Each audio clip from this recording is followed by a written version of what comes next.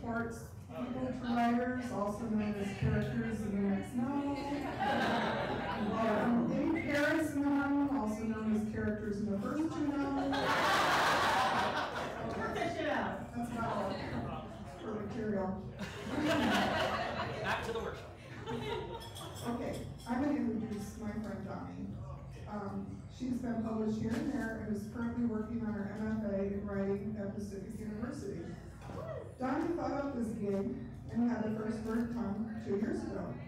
Domi likes Pilates, walking on the beach, and enjoys good wine spirits are at the country club. And 40 love tennis game, or not. You can catch Domi zooming around town or shooting the shit in the little backyard oasis created out of necessity and appreciated out of love. Personally, I love her. She is all fucking heart and soul and brains and beautiful words with an acute empathy. She is right on.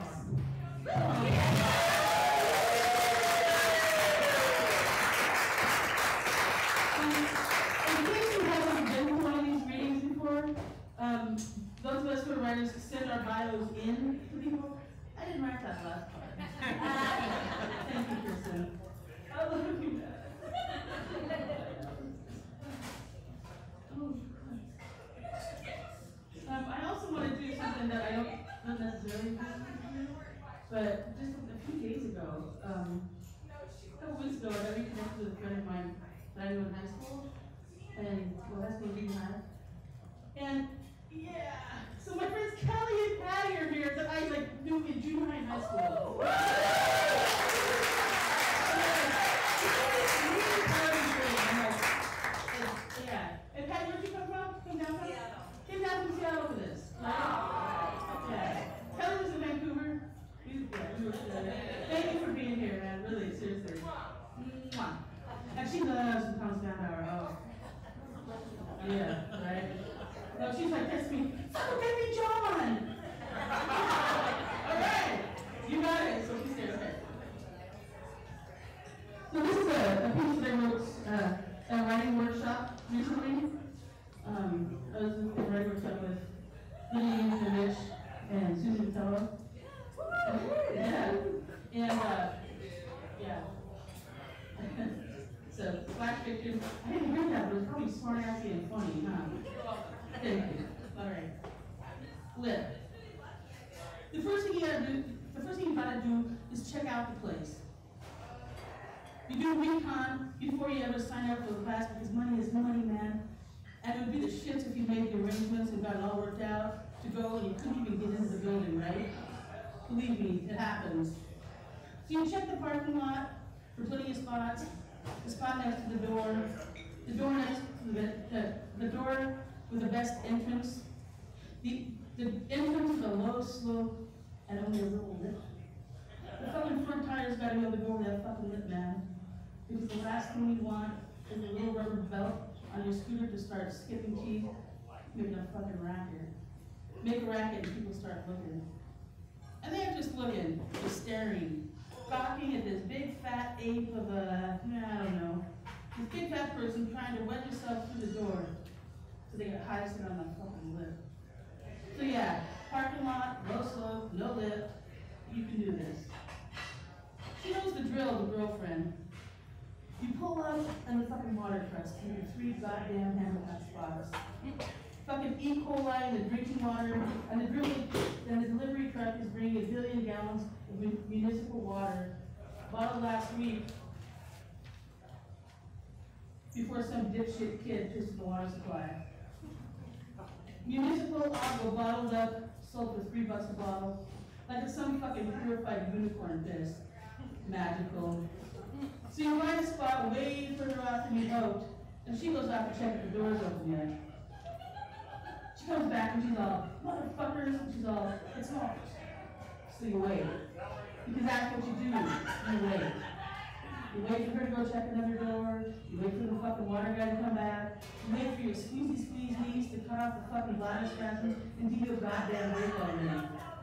Your forehead shining, your cheeks pink with blossom of that giant Oregon roadie that starts looking like a lot like a Super Bowl outhouse about now. Back in the day, you wouldn't complain at all. The freedom of acts to win over piss and paper any day. That's when it was a choice to run of choices now. The spasms, they're not stopping, and everything's punching up right up to that port, gut, watery mouth point of no return. The water guy comes back, and you take off to the door.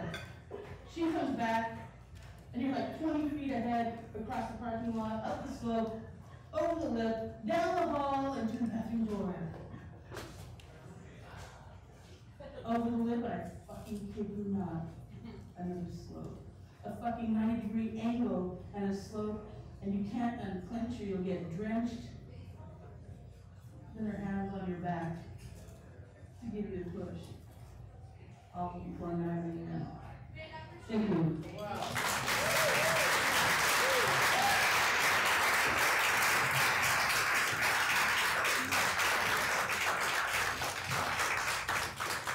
Thank you, Donna. This next person is someone I don't know, but Jamie Broady is a veteran, a single mom to a sculpt of sons, and an MFA student at Pacific University. She is working on two books, Company D, about her experience as a young woman in the military, and Unaccompanied Minor, about her own coming of age while searching for and eventually coming to know her father, a Cuban exile who was immigrated as a child during the Cold War. She's also working on a documentary about unaccompanied minors from Cuba, second generation reaction, and their return to Cuba over fifty years after the war. Please welcome Jamie.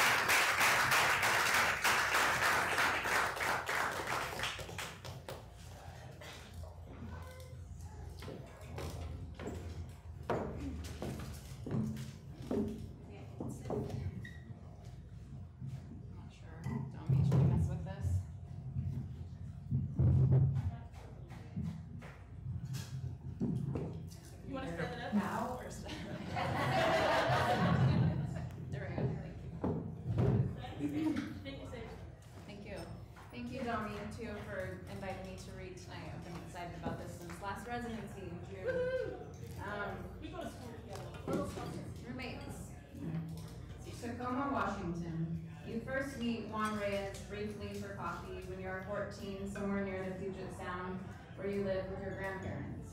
Your mother has arranged this meeting for you. She thinks meeting your father might change your trajectory. You bring your friend Josephine, who has a quiet confidence and generally friendly manner. You and she stand pressed together near the wall where people wait for coffees and watch for him to arrive. You know you'll know him when he first steps into the room.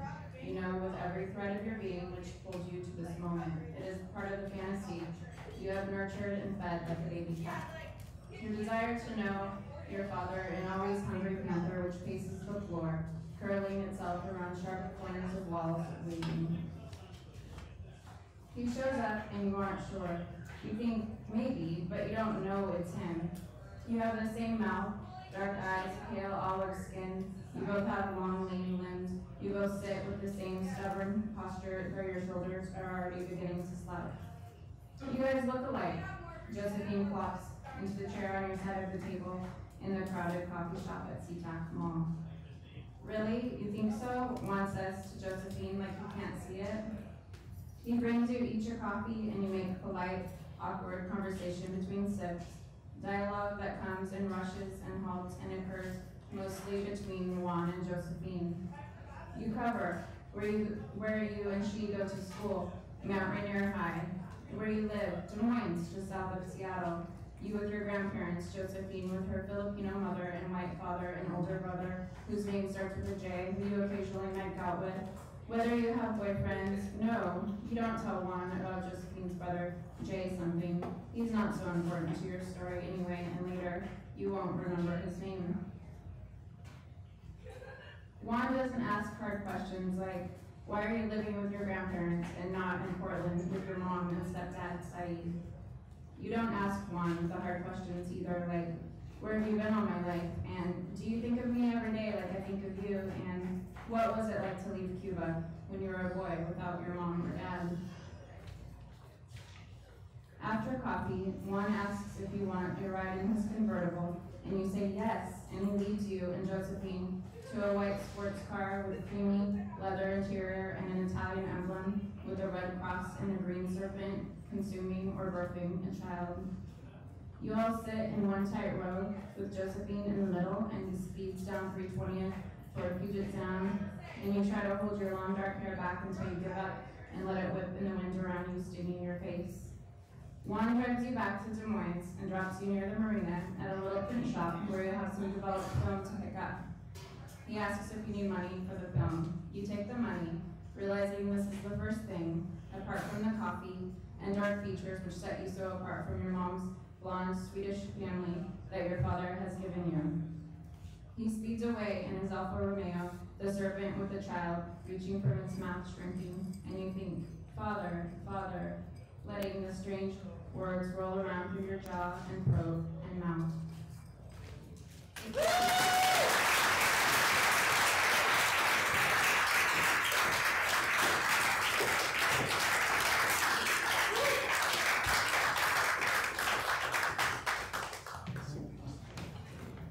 This is what it's like to be me. Yes. You can use that mic. Yeah, Can you pull it up on stage? no, this is good. Okay, next is Christy George. Christy George is a writer and a journalist. She specialized in covering climate change and the for fifteen years. The genesis of her nonfiction book project was her award-winning radio series, The Denmark Project, about the impact of climate change on one tiny Oregon town. She's been in Tom Spanbauer's dangerous writing class for six years, and she writes here she probably has another six to go before finishing her novel. Hey, not done yet. I think, to me, Chrissy's cool. Um, she's a careful reader and gives generous feedback, so let's welcome Chrissy.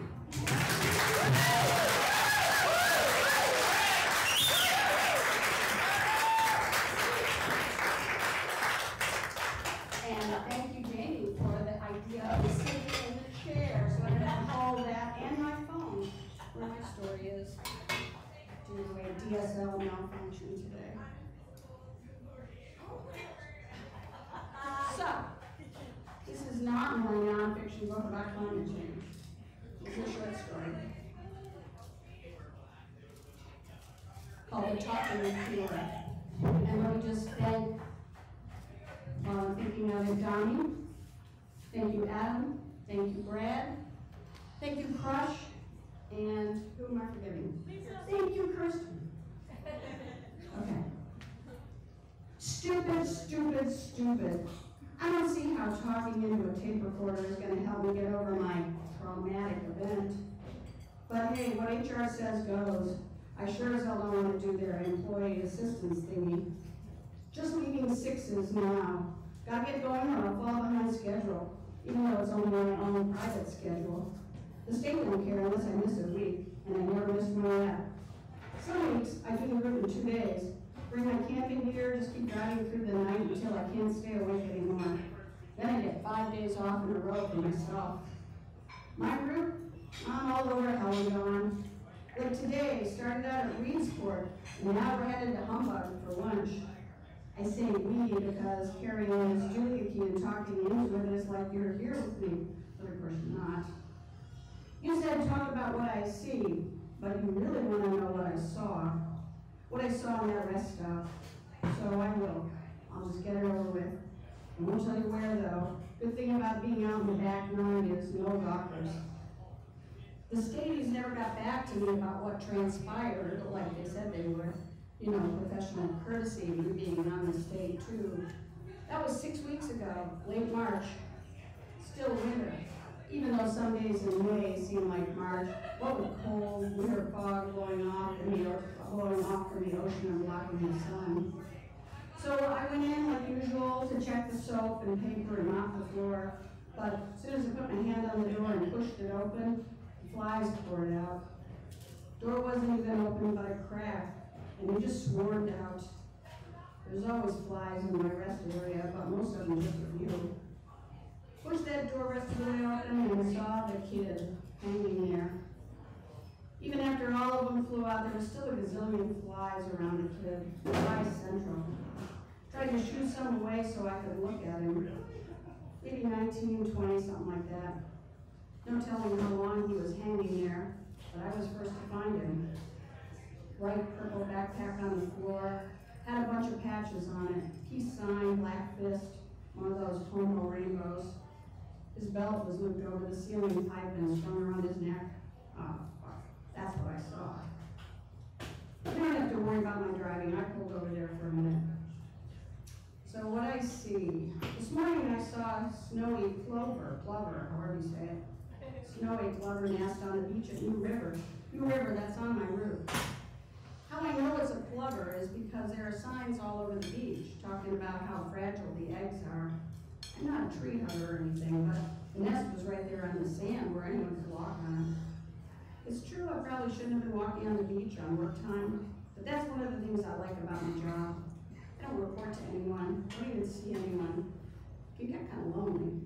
I like it, and I don't like it, you know what I mean? State parks, that's my route. Takes a dozen, dozen guys to do it. Not like national parks, which Oregon only had one of, Crater Lake until Clinton. Now there's a bunch of them. National monuments, history parks, wildernesses. I'm not saying it's bad, the federal. It's a sweet route. Steams, Nez Perce, the fossil beds. I'd take it in a heartbeat. Except for that Lewis and Clark stuff out by Columbia. It's an easy swing. And the feds got great pennies. Pension even. My group, well, that's a whole other thing. So what I see right now, sandy beach down at the bottom of the cliffs, rocks in the water, big rocks, blue sky where I am, but a big ass cloud bank right offshore. Scrub pine, bushes, lots of birds, gulls, hawks, ravens, or maybe they're crows. Crows are taking over the place.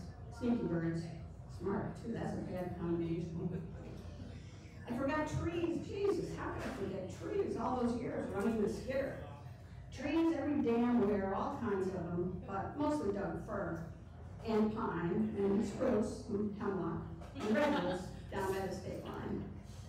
See, my route takes me all over the place, into campgrounds and parks and past trailheads, so I know what's going on. I cover the southwest, and it's pretty lonely most of the time, except right when I'm working. Up my nozzle to the outfall tank and just suck it all up, what, what travelers leave behind. Shit. I- I'm talking about shit and piss. Blood, throw up, tampons, diapers, all the stuff people toss in the jar and walk away. Don't always flush when they got a chance to. Don't put the lid down, the backcountry johns, the ones that are just holes down to nothing. Those will be smelly ones. The Clivus Multrums with the big vent straight to outside, those are the nice ones. So I go once week, hit every state john in southwest Oregon, check the soap, put in a bunch more rolls of toilet paper, mop the floor, suck up the shit, suck up everything. It's a job, good job too, except for the ten minutes when I'm actually doing it. The rest of the time I'm driving, seeing the scenery, mulling it all over, life, living and dying, animals and trees and people. I'm fifty-five, double nickels. You wanna know what I see on my route? Every week I see stuff different from what I saw last week. Like today, guy south of Coos Bay cut down all the screen trees, the ones between the road and all the rest of the stumps. You gotta be pretty hard up for cash to cut the screen trees. Someone else put up a sign by Floras Lake says, stop burning trash. All capital letters and an exclamation point. Look at the kind of small town view that can lead to fights or worse. I've seen it over and over. Well, I didn't see it, heard about it, seen the results. My philosophy, life here is cheap. I don't mean street crime, I mean people don't care whether they live or die. Not if it interferes with them having fun out in the wild. Don't care if their kids live or die, me neither. I see it all the time, babies falling out of boats and drowning. Parents don't believe in life jackets. Little kids, five years old, driving ATVs, hit a rock and flip it, go on. High school kids from Bandon get their license from drinking and partying and plow right off the cliff at Seven Devils Road. Dead kids. Not planning to die anytime soon myself. Lately, I got the idea I might die someday. This is really stupid talking to myself. An oral diary, oral, that just makes me laugh. I'm gonna turn off this doohickey and check if it's even working. Okay, I'm back, it's working, I guess. I don't sound anything like me. The guy on the tape said all the things I said, so I guess it's working okay. That kid, you kinda say, well, what's this? It doesn't compute. I wanted to cut him down, but knew I should leave him for the cops. And I didn't wanna get near those flies. The bathroom was empty except for the backpack and the kid and the flies. Funny thing though, that restroom didn't smell at all. No shit smell, no dead smell either. Sweet as a biggest from. Shook me, Doc, I admit it. Never seen anything like that before and hope to hell I never do again. I just can't get the picture out of my head. I guess it's kind of haunted me. I guess that's why I'm talking into this doohickey. Gotta go back, gotta get over it. Oh, hey, there's an eagle, just flew over the road, white head and all. You'd think I'd seen a lot of them, but you'd be surprised how many eagles turn out to be hawks. What I'd really like to see, puffins. End of the day, I'll be in Harris Beach, almost the state line. They say there's puffins there, but I never seen them going on two years now. I'd like to see one, not that I'm a tree hugger or anything. Here's Battle Rock, where I stopped for lunch. I like to look at Humbug Mountain in the water while I'm eating. A plaque in the parking lot calls it a battle. There wasn't much of one. A Bunch of Indians live there. White settlers show up. Indians don't want them moving, so they hassle them. White guys climb on top of the big rock in the water and hang out till one night they escape. Time passes. Whites settle up and down the coast. A Bunch more skirmishes. Indians killing settlers, settlers killing Indians, Indians getting the worst of it. 10,000 Indians around the Rogue River in 1851, 2,000 left five years later. Braves, squaws, kids, everybody killed. Black don't mention that. The ones that were left all marched off to the res, and that's why there's no Indians in southwest Oregon. That's why I don't go climbing up on the big rock either. I don't know if it's really haunted like people say, but there's a sea cave in the big rock right by the sandy beach. Somebody could get stuck in there if they went in at low tide and didn't pay attention. Okay, I'm back, talking to the doohickey again. No puffins at lunch, tuna on white. Kinda sad eating fish by the ocean side. Wonder if the fish can smell it. So what I see, driving the switchbacks around Humbug, I see a lot of slow traffic in the summer, RVs and trailers, regular cars, trucks, always driving too fast. They got those heavy loads, gravel and rocks, tears up the road for everyone else. I see trees and more trees, I see ocean through the trees, I see an eagle on the side of the road, no, wait, not an eagle, it's a fucking turkey vulture eating something dead. Oh, Jesus, that takes me back, back to the rest stop, to what I saw. Oh. Nice looking kid, what I could see of him, couldn't see his eyes because, sorry, because couldn't see his eyes because of the flies. Pulling into the wayside now, where I saw it, saw him. Just don't understand how someone so young. Here's the rest area. Stupid name, nobody rests here. The one's called Welcome Center's even stupider. I like what they call it at RV parks, dump site. That's what this is, dump site. There's the John. You said take the doohickey and keep talking while I go in retrace my steps. So, okay, I'm getting out of the truck. Shutting the door. You need to oil those hinges. Walking up the path. I'm in front of the door now. Easy enough to just go in. Hand on the door. No doorknob, just push to open it. There's a lock inside. I'm cracking the door now. No flies today. No problem really. I'll just push that door a little more. Or maybe not, not today. Today I'd like to see a puffin, not that I'm a tree hugger. It's just all this time alone every day. So much to think about on the road, so much to see.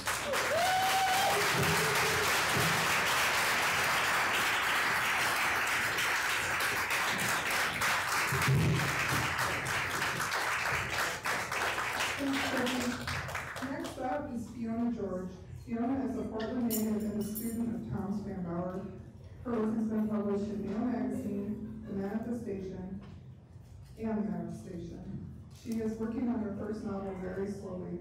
I think one day we're gonna be able to say, I knew Fiona when.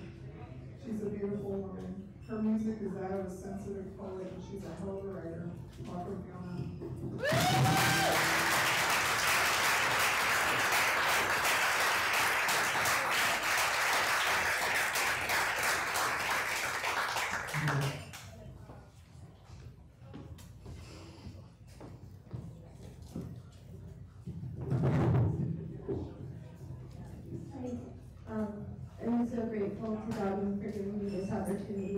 This on. Um, I'm also gonna be reading on my phone, but because of the last minute mind change. That summer, Annika turned into a teenager. I didn't. Nights out on the roof when we were the same age were magic.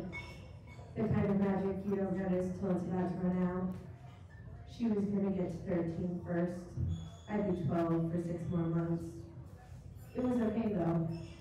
Even though I wasn't a teenager, both our parents thought we were old enough to go to the Rocky Horror Picture Show for her thirteenth birthday. Thought we were old enough to wear corsets. I didn't even know how to shop for bras properly yet. How to deal with my boobs. It came in fast. What it was, was all that baby fat I still had. Annika called it baby fat. My tummy was chubby, my cheeks were chubby, my butt was chubby, my arms and legs were chubby. When I started to grow boobs, it was just my chest getting chubby with the rest of me. It Took me a full five minutes to get into a bra. I always dropped one end before I could get one of the little hooks clasped, and sometimes I got it inside out. I get nervous about not being able to get it on, and my skin would get all sweaty, sticky, so I couldn't turn the bra the right way around once I managed to hook all the hooks. Of course, it sounded like a nightmare, but I love the way they looked. Like the corset on the mannequin where we went to buy ours, in her window and the dirty white hole-in-the-wall storefront, under a plastic white banner with big red letters, Heaven's Closet. The brunette, brown-eyed mannequin dressed as a devil in a red corset with black lace, worn with nothing but red mesh see-through panties. I didn't want those. I wa- wanted a corset to pull me into that hourglass shape, all my chubby to turn into woman curves. Annika didn't look like the mannequin in her corset. She looked better. She was pretty damn close to that thin curvy woman body, but she wasn't plastic. The one big dressing room we shared, the only dressing room sheets hung in a corner, big enough for two. Two who'd grown up playing naked in mud puddles with each other. Two who it didn't matter if we saw each other naked. This was the last time it didn't matter, or the first time it did. The corset Annika had on had laces in the back and clasps in the front, so she did not need my help to put hers on. Laces tight as they could go, the perfect size for her. Didn't even need to adjust it. Her waist in all tiny, her beginnings of hips, and I don't know why I don't have hips yet. Black eyes, black hair, and a black corset on, ghost white skin. She looked drop dead, grown up gorgeous, even with dirty Converse and cutoffs. Her hand ran down the length of that corset, stood straight, seemed taller, like she grew up right in front of me. No wonder she didn't try on anything else. My corset had laces, no clasps. I needed her help. My shirt off and I could feel my nipples. Wanted to get them covered again, faced away from her, away from the mirror. All those times we changed together, that little kid nakedness that no one cares, it was gone. How it had been so easy that I didn't even have to think about it. But I could feel air conditioning on nervous sweat and my cheeks felt redder than the devil's see-through panties. The laces on the corset loosened the hoodie and still too tight. Took longer than it took me to put on the bra just to get it over my head. The corset stuck to my sweat, stuck to my arms, trapped them above my head, covered my face. All I could see was black fabric. Hot breath trapped from there, my face hotter and redder. The tickle of Annika's long fingers at my ribs page, how they moved between my skin and the fabric made me sweat more. A yank that felt like it pulled my boobs down to my belly button and it was past my waist. Over my head and bright, bright clothing store light in my eyes, the corset pulled down to where my hips were going to grow, unlaced and hung around me. When Annika laced it up was the worst of it. First pulling the strings, I didn't expect it. My rib cage pain worse than sore from laughing, like I could break. Looked down and watched my torso get pulled into a shape that wasn't hourglass. Saw my brand new boobs jiggle with every tug of the laces. My stomach felt smaller, my lungs even smaller than my stomach. My torso pulled into a kind of log shape, no waist and hips to speak of. My chubby chest pulled flat. I bet it looked bad. I didn't bother to look in the mirror. I looked at Annika. She knew it looked bad. Her lips together like a pin-up kiss, big black eyes squished under black eyebrows. Up and down my torso twice before she said anything. When something looks good, you don't have to think that long before you say so. Don't know what I would have done without Annika. She knows things about corsets and everything else. Her voice is a fact, solid and trustable. Get the sense she'd sound like that even if she was lying. You should find one with claps in the front, she says. And different boning, this one is really stiff. I didn't even know that the stiff parts were called boning, or that there were different kinds of it. My voice is myth, back full of doubt, barely enough breath to push it out. Yeah, I say, I can't breathe.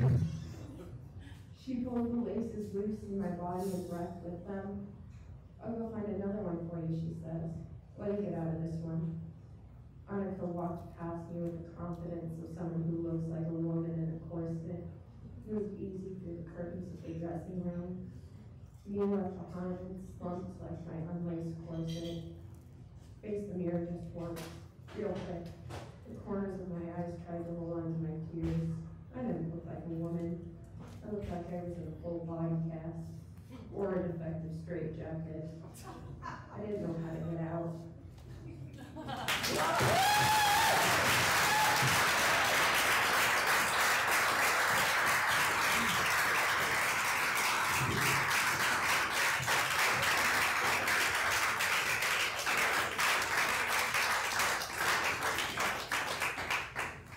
what I mean?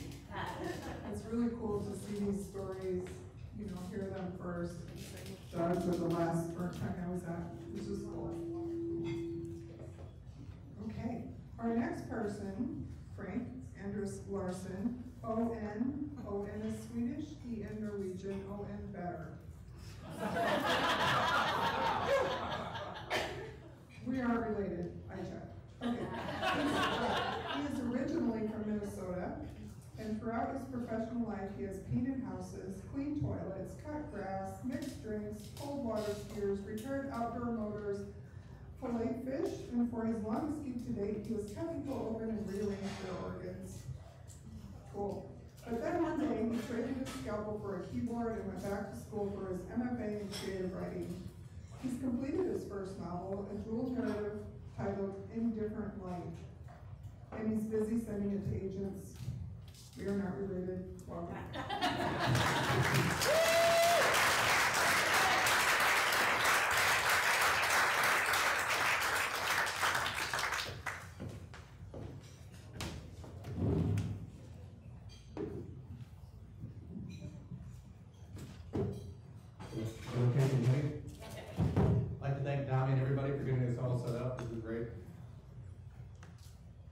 is the, uh, opening to my, uh, novel, it's a dual narrative novel titled Indifferent Light. When Dr. Cliff Morris had a good day at work, someone else had a terrible day. If he had to drop everything and run to the ER, he felt like a six-year-old licking ice cream, a golden retriever lying in the sun, a beaver felling birch trees, or a master gardener eating his own tomatoes, but he wanted more than everyday cases. Cliff wanted gunshot wounds, chest impalements, limb detachments, perforated ulcers, and ruptured spleens from ATV accidents on the local sand dunes. He wanted the cases that jolted him inside out. If all the trauma juiced him that way, he would live in the ER forever. Besides, any form of trauma was easier than raising Danny and Nick on his own. Trauma surgeons for years have written textbooks on what to do and when and how. They developed the Advanced Trauma Life Support System to help systematically evaluate and treat patients. But who assessed your performance with your two sons and suggested ways to better handle sibling rivalry or teenage drug use? No one Cliff knew, that's who. The few books Cliff had seen on parenting dealt with babies, but babies were a chip shop. Play with them, keep them fed and dry, and chances were they'd be happy. But what about a moody fifteen-year-old with a permit who thinks you're a dumb shit and wants you to take him out for driving practice? What about two teenagers who think you, their father, are partly responsible for their mother's death? And what about bringing in two know your traits better than you? To Cliff, parenting is like being stuck at the bottom of a hundred-foot mine shaft. Sunlight hit the bottom maybe for a couple minutes a day, and someone, and occasionally someone by mistake kicked in a garden spade or half a bologna sandwich. But for the most part, and especially after his wife Sylvia died, Cliff parented alone and from a hole. Maybe for that reason, not all Cliff's work was. He didn't like caring for injured kids, victims of domestic abuse, near drownings, electrocutions, poisonings, and other brutal traumas to which children were predisposed. He took call for the coastal town of Florence, Oregon, and the resident beach walkers, swimmers, surfers, kayakers, fishermen, and recreational boaters were all just one flash away from dying in the ocean they'd set out to enjoy. Road waves, killer riptides, sudden storms, numbing water. Combine them, and they could ruin anyone's day. When the near drowning victims arrived in the ER, Cliff could do little for them. And Cliff couldn't stand having little to do. If Cliff were a professor or an architect instead of a surgeon, his job wouldn't require someone else's misfortune to providing work. He mentioned it once to his wife Sylvia, a few weeks before she drove her Corvette over the rock face near Heceta Head Lighthouse. She and Cliff were separate at the time, but her smear still gouged him like a knife to the gut. You'd be a basket case if you weren't a doctor, she said. How could she have said that? To Sylvia, he'd always been a doctor. He met her at a party during his general surgery residency after medical school, and since that bonfire on the beach, his life had been elbows to assholes with scalpels and stethoscopes, peritonitis and proctoscopes, laparotomies and laparoscopes. Still, if he had a normal job, she might have stayed around, he might be closer to his growing sons, Danny and Nick, and Nick might have avoided his slow dance with dope. If Cliff had gone into a different profession, Danny and Nick might have followed and not entered medical school themselves. Cliff didn't know the figures, but children seem more likely to follow a parent into a given field than take up an unrelated occupation. Not that Cliff had followed anyone, because his father sold tractors in South Dakota, and Cliff, in his sixty-one years on earth, had never sold anything larger or slower than a used Ford Fairlane.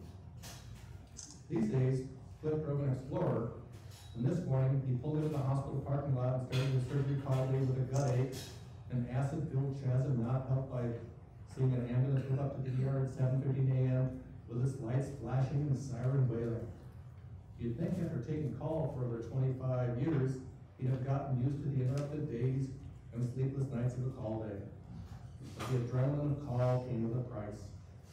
He suffered from acid reflux, and his throat often burned more the night before call. The ultimate burrito and pitcher of Hamm's at Tiny's last night didn't help.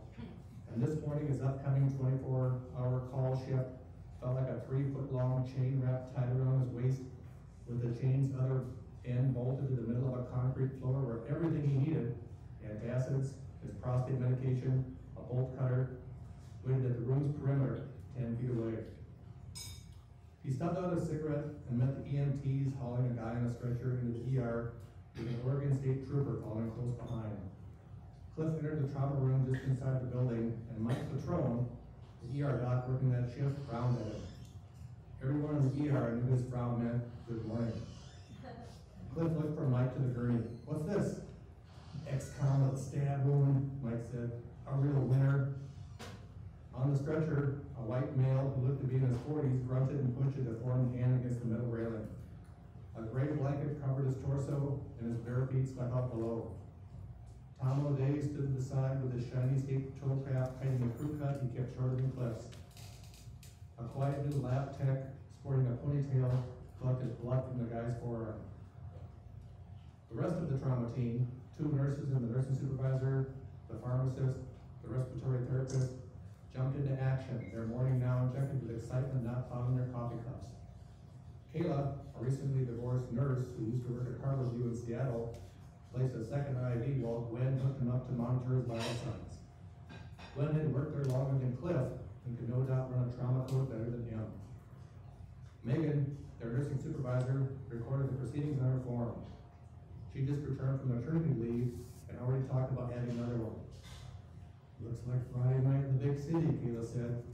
when uh, nodded. I'm glad he learned self-control in prison.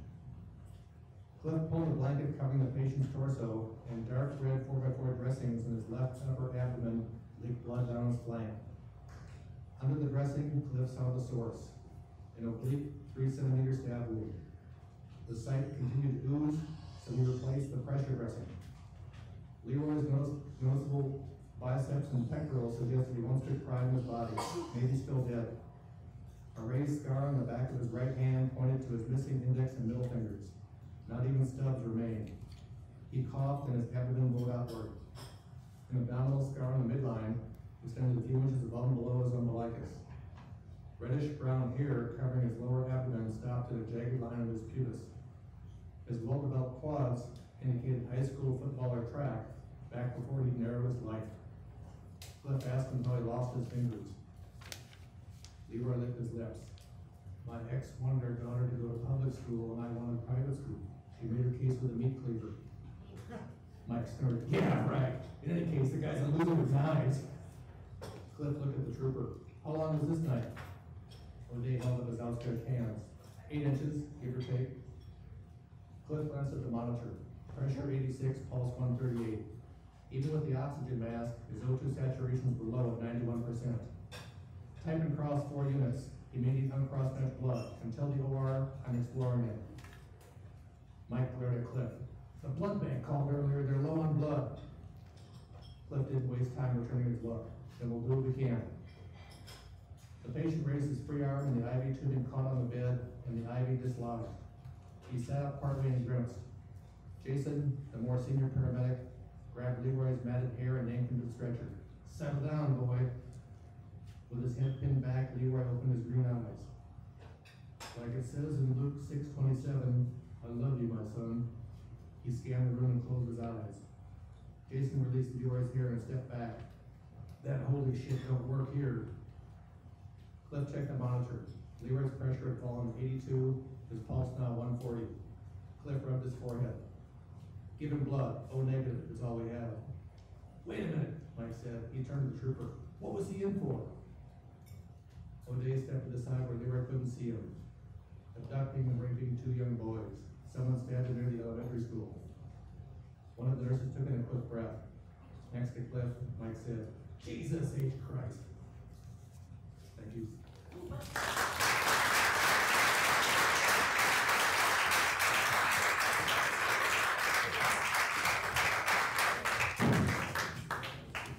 Thank you. I'd like to apologize to the Norwegians, I may have inadvertently pissed off. There been lots of important Norwegians throughout history, like, I can't think of one. Okay. Quiet it back. Our next reader, MF McAuliffe, is a co-author of her poetry collection, Fighting Monsters, and the limited edition artist book, Gollum's Waiting Redux.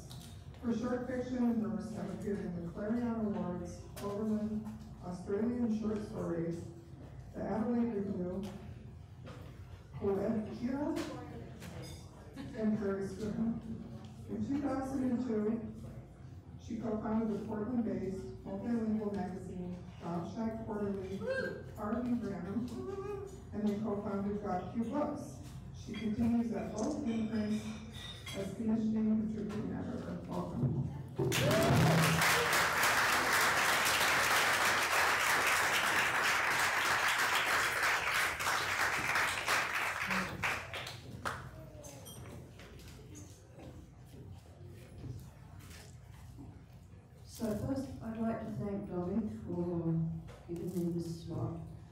Um, it's an act of generosity, and from everything I've seen over the last year or more since coming here, generosity is the animating spirit of this group and Britain.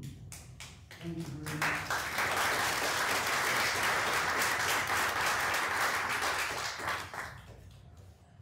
I'm going to read uh, seven very short pieces. They are short.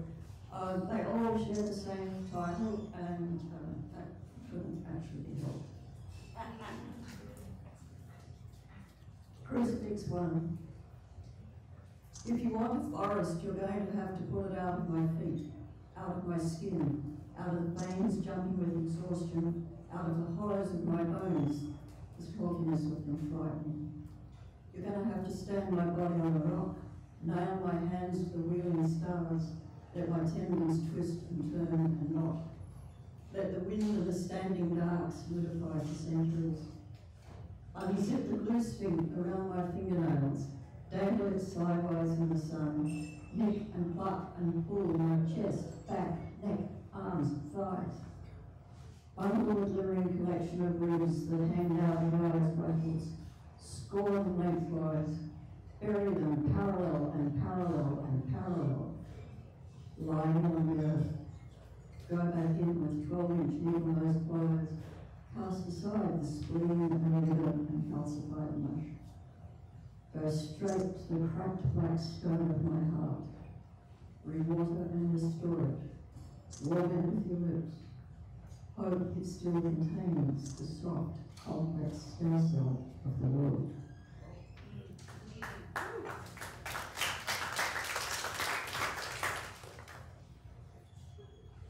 Move the belly from side to side. Let the entrails spill out. The ovaries gleam in a river of blood. Dive air. Insides upward to the heart. Flick it out, also onto the ground. Let it palpitate, come to rest. Dog meat, kangaroo meat, perfect. Pierce on upward into the brain with a stiletto, knitting needle, tool. Up through the pineal into the joining of the thought. Liberate the soul. Sever shame from shame. The hollow between the last ribs on the right from the wound between the last ribs on the left. The throbbing fingertips from the thigh of the skull. Carved down from the armpits, scoring the bone. Score the legs also. Let them fall open, the midfoot from the sky, loop through the crotch. Hoist and haul. Let the thing drain. Let the occurrence become transparent as though it had never been.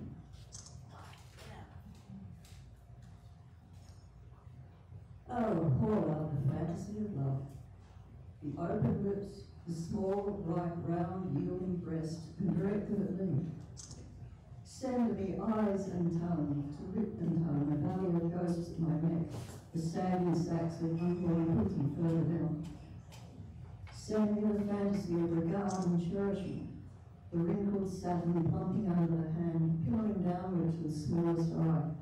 Send me the final fantasy of adoration. Mouths open with praise and softness, the touch like veins soaring on the skin. Oh, cover me with mouths, while the white afternoon takes me apart. So here I hang or stand, lashed or nailed to this fine piece from Bethlehem wood and steel, and there you are, centurion. I've seen you before, a guest where you shouldn't have been. Most of those eye whites puddling out from my feet have seen before too. They've come to watch the death of God, come to see what saw them as they are, squirm in his tomb. And the rest have come to see the marvellous artist, carpenter, architect, founder of the Sea School, all organic, heat-treated mud, the very bend and flow of thought and water, last one in anything visible, and cry out at the final cessation of the contract, as though they'd never complained about the cabinet joints when the bill was finished. Oh no, you can't pay for that. Genius doesn't work for love money, it works because it must. As though I hadn't seen the whisk of roaming cloaks around the corners. Figured out the high holiday scams and kept my mouth shut anyway. Genius works because it must. As though the Spirit of God could never finally stop transforming the world and possibility, no matter what they did, to God, the world, and possibility. People can live. People can live. And inherit in turn. Son, a circle of unhappy wives, the cliffs carved stairways of vision twisted saints cowering for God, while rivers of blood and marble continue to flow within them, and wise and heretics continue to burn above them, and the wind and sand continue to blow around them. Let me die alone. Your God is alive, you tell each other, and so your touch is pain. What is this? Prison on the skin, this wall, this sagging, this crawling of pipes and downspouts and torn metal housings, this jelly mortar, this openwork netting, this grid of constraint. What is this rain-soaked plaster, this paste of gravel, this dereliction? The world on my skin is to burst through. Stretch me. The line that binds the roundness of the world runs arm to arm with me, wrist to wrist. Leave my breastbone open to the birds. Let blue mountain tops rise beneath my nipples. Let the sky drink from me. Let its beak peck fire from the land between my hips. Let clouds appear over my holes. Let the high waters stand on the shelf behind the alkali skull. Track me through love's broken shell, its open hollows, its murdered ass, its cast off elbows, its thin, abandoned skin. Track me through this flesh red rubble. I have fallen with the rain. I am less than smoke.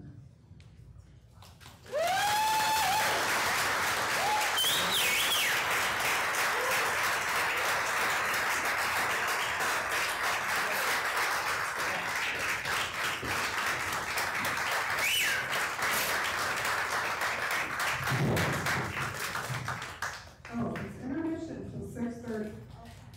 Oh, please buy drinks, uh, food, and all that, and tip well, right?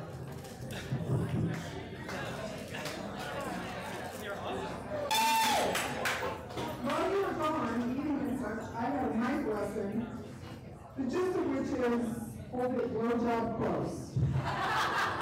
Only dangerous space. That's right, young. That means I have to fucking swallow it. Yes, when he dies, I can say that. I'm gonna keep drinking. Okay.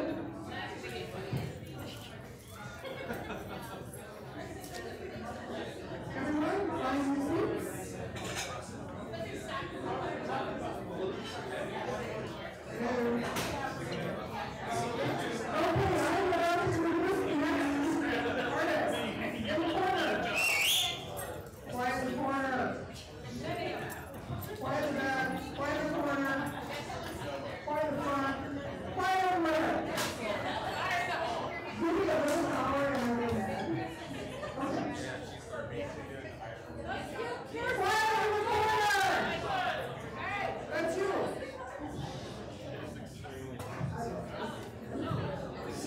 Okay, Carrie Seitzinger is the author of the poetry book Fall Ill Medicine, which you can get at house, which is named, which was named a two thousand thirteen finalist for the Stafford Hall Award for Poetry.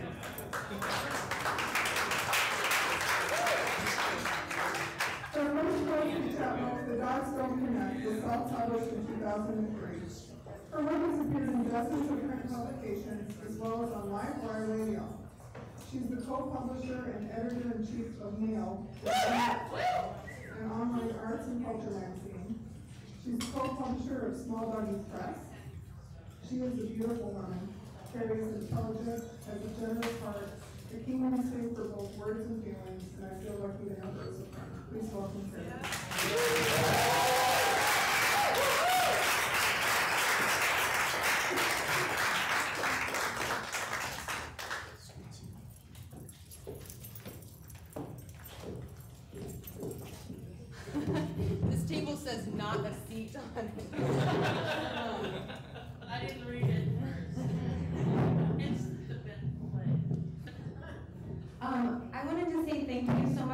Much, um, Domi, for having me and, um, and for everyone who is already a great supporter of NAILed. I know that many of you are, and we really appreciate your readership and also your submissions. Um, we're always open to submissions online, nailedmagazine.com. Um,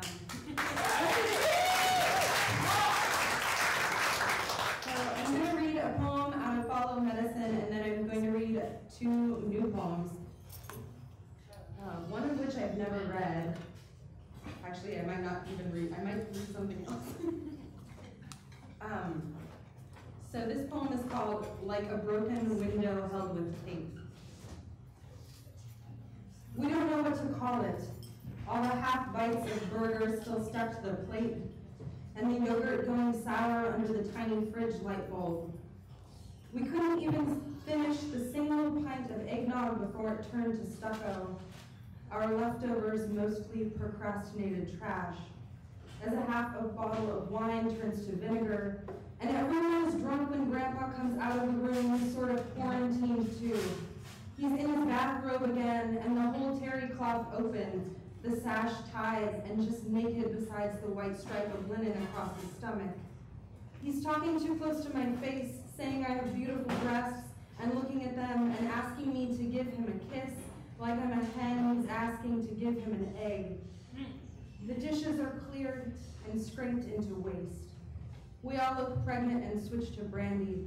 And then Grandpa's leaning in, cross-eyed at Michael's lips, explaining his wife had a tilted womb, and in order to conceive, he had to enter from the rear. This and dessert. None of us can swallow. Feel the heavy cream rising up like some backward avalanche. We want and want and want one thing until it is all we have to spit out.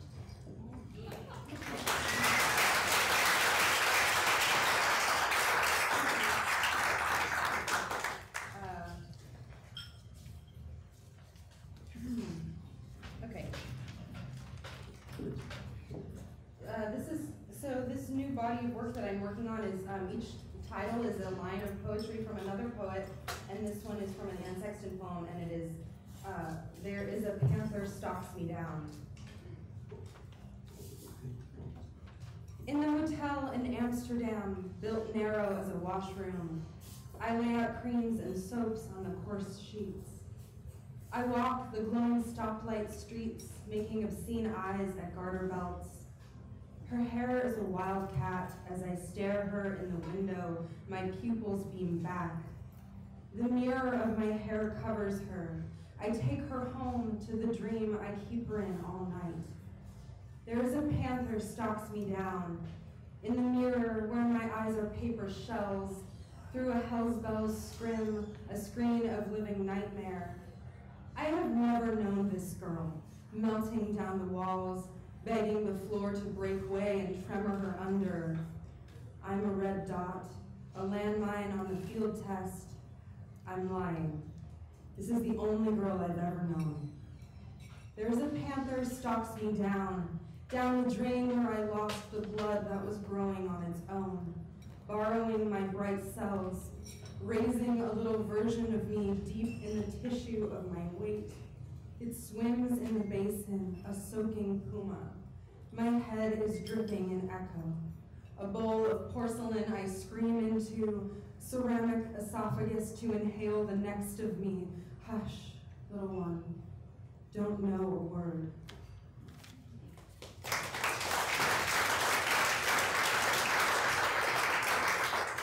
One more. I have never, I've never read this poem, and um, I just finished it uh, like a week ago, I guess.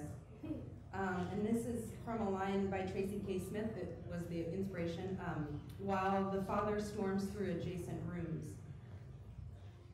In the last house, my room beside the garage. Afternoons I hide in there, candles, notebooks, tension. And when you throw that garage door open and enter, then came adrenaline bee swarm up the back and over the crown. He'd yell my name, the siren of catastrophe, echo of our house. All four of us bore different names, separate sorts. A collage cast forced together by decisions that were mistakes no one could admit. Mother tried her names on like cashmere she couldn't afford, her heart an empty wallet. My dog, my name was a dog always about to be whipped. Half brother's name, a remnant of our penniless days, came out like a sigh of no kiss. And the latest parent, we hardly uttered his name until made to, forced to come kiss him goodnight where he zoomed into television from the couch. He was soft between rooms when I met him, I was eight.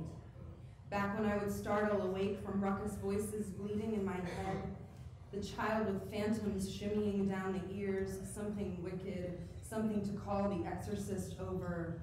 Rock night of sleep is so often I believe the house was destined for flame and billows of gray hotter than sky. He was a vision of all right, waiting for us to call him a word that gave us to him. Father, a strange lie, and mother without any criteria for this titling. And so his fault find, finding and anger darting straight for my name meant I was always failing the Father, a contrition never severe enough, always leaving me wanting to know when I'd be permissible, to at least feel like a broken candle that still lights. Thank you.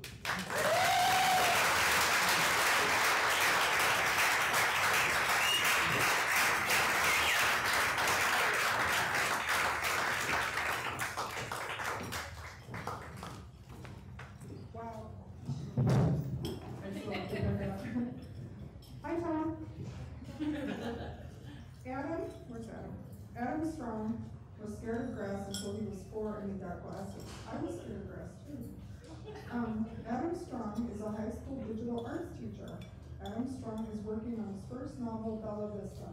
Adam Strong's work has appeared in Nail Magazine, Our Portland Story, Intellectual Refuge, and other places. Adam Strong has two children that make his jaw go funny when he sees them. Adam Strong lives and writes in Portland, Oregon. Adam Strong is a good man. This is what I added. Funny, insensitive, and a hell of a writer. There it is.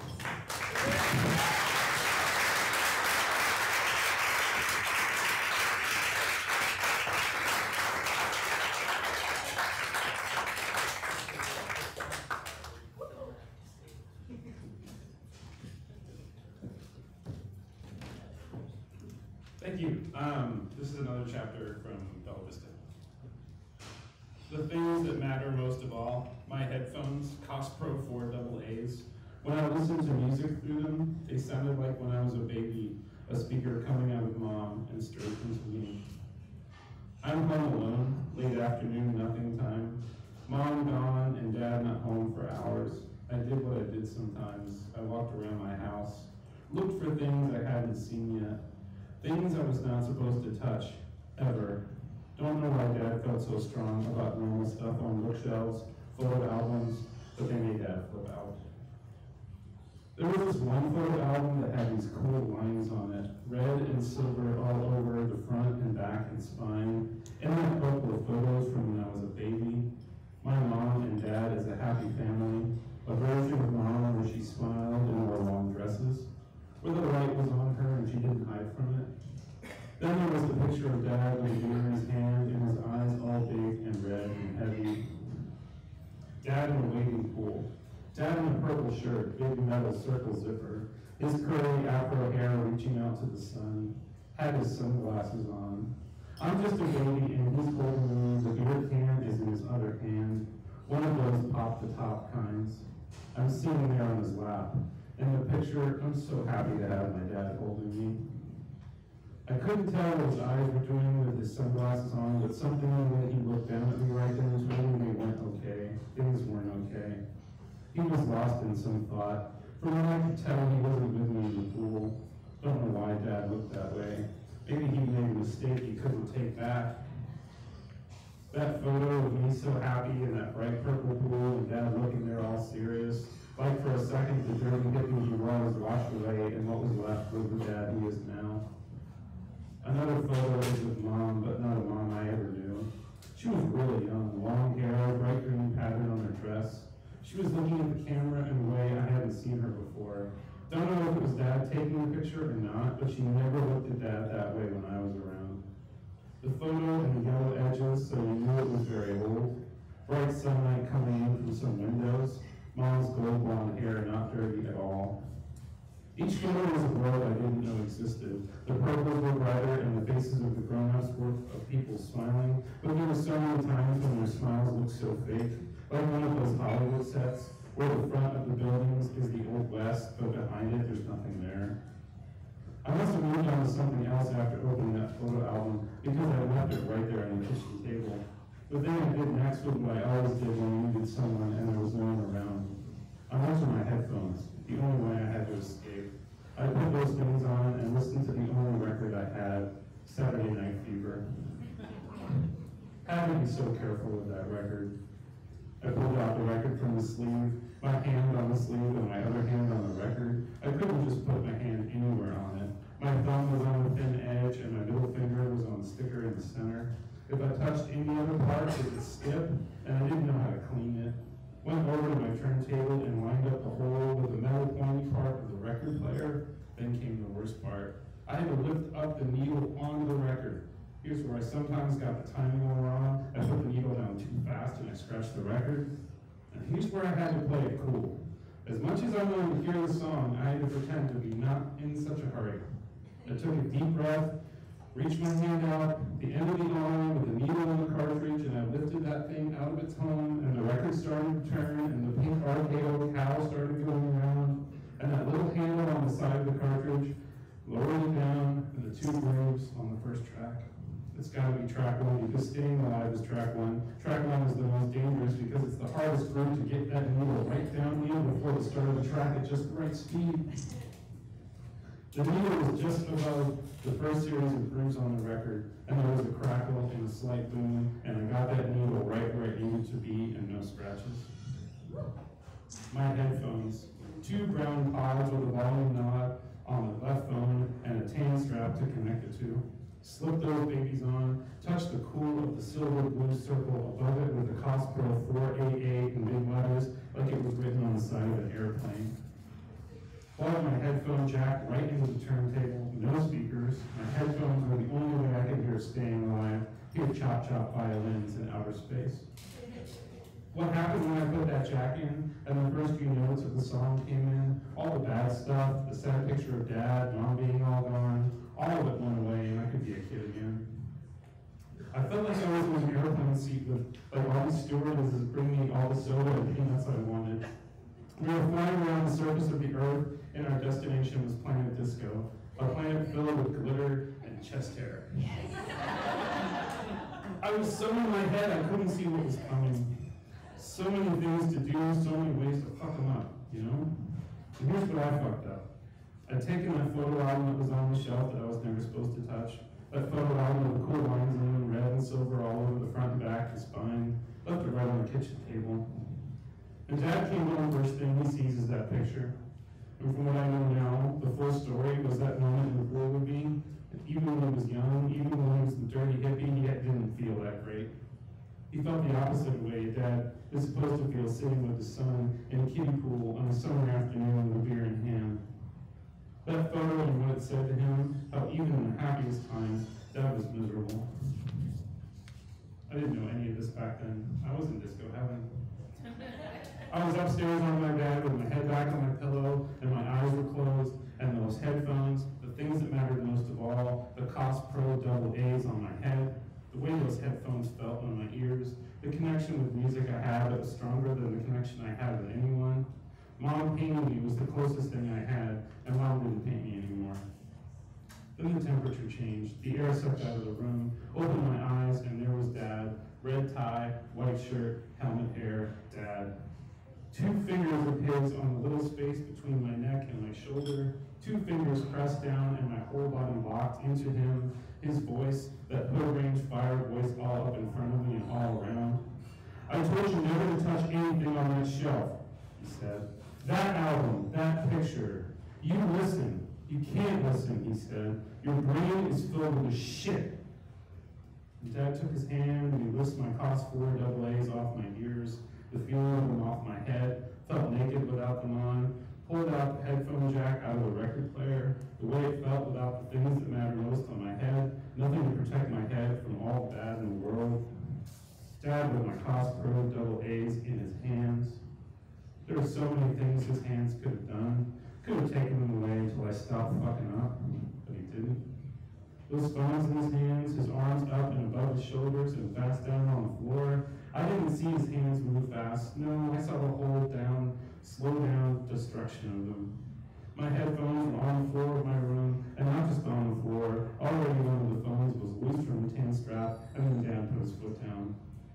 The most important thing, my Koss four double A's, his brown penny loafer, his right one, such a dark tan shade of shoe it was almost red, that tassel up and down on top of his penny loafer, underneath the shoe, the heel, under that heel, the smashed plastic of the two tan phone pods, my headphone, and it sounded like mom reaching out and holding me. I loved them so much I couldn't believe they were made out of plastic. First day I got them, I thought they'd last forever. You listen to me now, Dad says his face. I want to say that his voice and the whole Hood Range Fire deal had me locked in and I was throwing up. The truth is I didn't even look up at him, not once. Just stared at the rack of the headphones under his shoe. When Dad walked out, those penny loafers, his dark pants, white shirt, how his shirt was always tucked in, even at home. His back to me, walks out. On the floor of my smashed headphones, how both pods had these deep cracks in them with chunks of wire hanging out. The speakers underneath the plastic foam, how small they were, how something so small could put out such power. And for the first time all summer, I didn't say I was sorry. Thank you.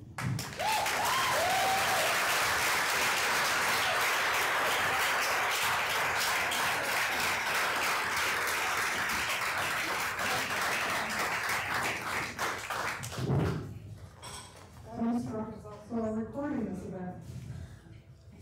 Um, Jared John Smith submitted the shortest bio of all. He also submitted his first query letter at age of fifteen. He graduated from university, university with an acronym entitling him to say, I majored in English literature. He can be found diving into his journal just about anywhere in the Pacific Northwest, and Rabbit is his first published novel. Welcome.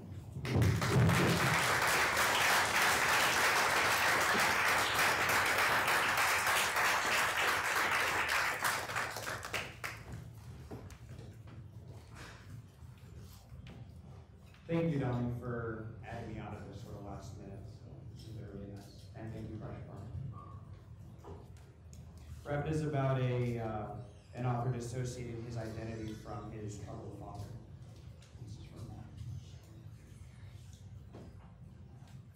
There is no ambition to write. This is forced. Two women behind the cafe counter are speaking of their fathers. One's father was an alcoholic who died around the time she was born. Other things also occurred in her life. An Asian couple sits in the corner speaking in a language I cannot decipher. The emphases on his consonants reveal nothing to me. Focusing on these people is easier than focusing on myself. My friend, who is most forgiving with me, called me moments ago crying, she is through with me and my problems. She says, I want a normal relationship. I was just about to call her before that, tell her I was two miles away from Foothills Mall where my homeless father hangs around. She is justified in her feelings. She is not doing this to ruin me. She's doing this because I am ruining us. I have a bad habit of talking to other women and flirting, gaining their verbal affection, and then dropping them once I feel desired. We could go on and on with my mommy and daddy issues all day. My friend cannot experience the four miles of running through the heat of West Hollywood to find a postcard. She has not yet received the five other postcards mailed to her. She, she saw the bouquet of flowers I ordered and had delivered to her workplace yesterday, but she does not see them now. While she is most forgiving with me, she really should not be. She says she wants a normal relationship. I cannot look my father in the eyes and say hello. I cannot embrace him. I never wanted anything to do with anyone in this family. A transgender escort dominated me for $160. The sex operators and local phone chat lines charged $10 per 20 minutes, 50 cents per minute jacking off. 66 something hours of chatting over several years, dissolving 4,000 some dollars. Eight bi weekly paychecks at minimum wage, roughly four months of solid work behind a video rental store counter. Time spent coming. Frustrated seed. A girl turned 19 and massaged me with honey and oatmeal. Oils finishing with a hand job for $120. A 30-something year old mother danced topless in my lap, charging 200. A high school graduate cuddled under my arm, hands between her legs, pleading that I feel how wet she was. A lonely wife emailed an invite for nude video chatting. A younger lonely wife kissed my neck. A divorced 20-something moved from Vegas and placed my hand on her left breast. Tell me how hard this makes you. Tell me if this hurts, a man said, his hand the first to stimulate my flaccid adolescent organ. Him 19, me 12. Do you want lube? I don't have any condoms. Tell me how bad you would like this to hurt, the transgender escort said. Tell me how badly you want to be inside of me, the high school graduate said. It has to hurt. It has to bleed. Young man prayed creature, time urges never heals. I love you, my friend says. I love you, I say. What she does not see is how frightened I am, cornered. Nature plays masochistic. It, I, me, him, Father, Son. We are one. Nothing numbs. Members shriveled in these aging palms.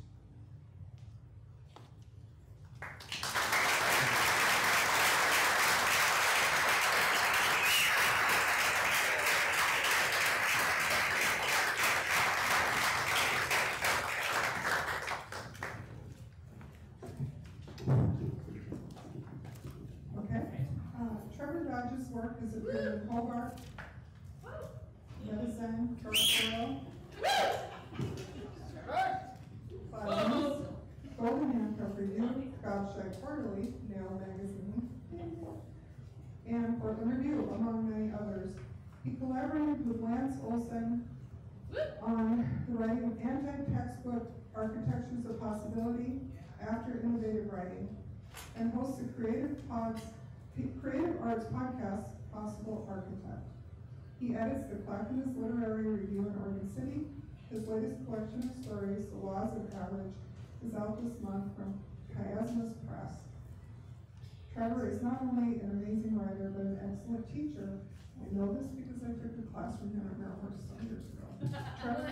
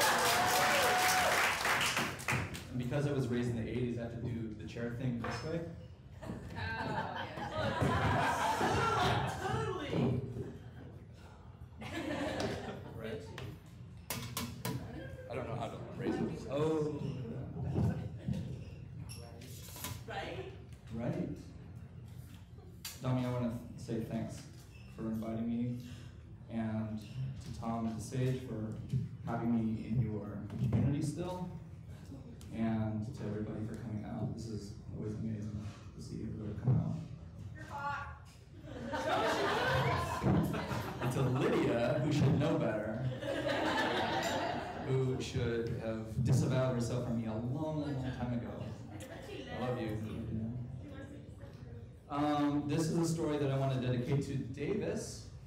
Everybody say hi again. Hi, If you want to say hi.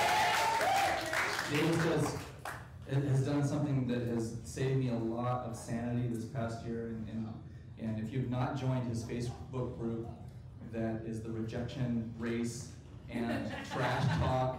I can't remember the full name of it, man, but the Trash Talk Lounge, which is right, which is all like supporting those of us stupid enough to want to publish it, who, who send stuff out and always get it back, and we're I don't know why we're surprised. But Davis, this is this is dedicated to you because I actually sent a piece out for the first couple of times. The simultaneous submission is like kind of a standard thing, you know. And this got accepted like multiple places. And I actually had to say, no, you can't publish that, fucker. That's right. So this is a, a total non-crisis in exactly seven parts. One. Your dog snores, your lovers snore, and you snore, not all at the same time. First is your lover. It's weird how she's first to start, how you don't have to touch her, let alone make her come, and she's first every time.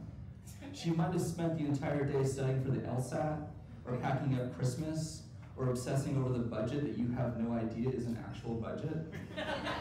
You have no idea because it's not a budget for money, it's a budget for time. Time that isn't yours, doesn't belong to anyone but her. Time that arrives in little blocks when she checks her email, or plays an extra round of Candy Crush, or borrows the car to swing through McDonald's for a dollar Coke a small order of french fries. What's not so weird though is how closer to the budget your dog is than you, which is almost certainly why you usually fall asleep last.